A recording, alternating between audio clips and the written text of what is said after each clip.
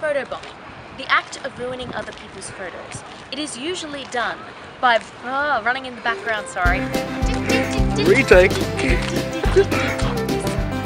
Today I am talking to a photobomber to try and understand why they did this.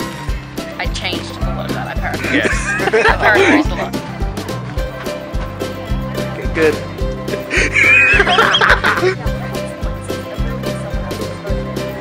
Not really, man someone just take a look at By the power of Grayskull! What is? What is?